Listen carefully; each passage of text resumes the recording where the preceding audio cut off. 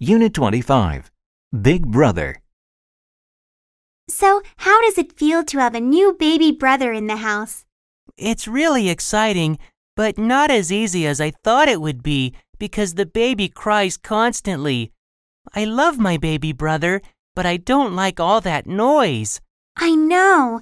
When my baby sister was born, she cried and slept all the time. I had to help change diapers and feed her. I hope I never have to change a diaper. My mom and dad do a good job of that. I learned how to heat the bottle to the right temperature, though. Having a new baby around is hard work.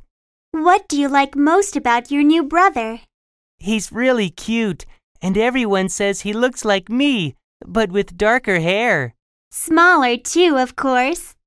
He laughs when I tickle his little feet. When he grows up a bit, I'll teach him how to ride a bicycle, and we can also play games together. I'm going to be the best big brother in the world.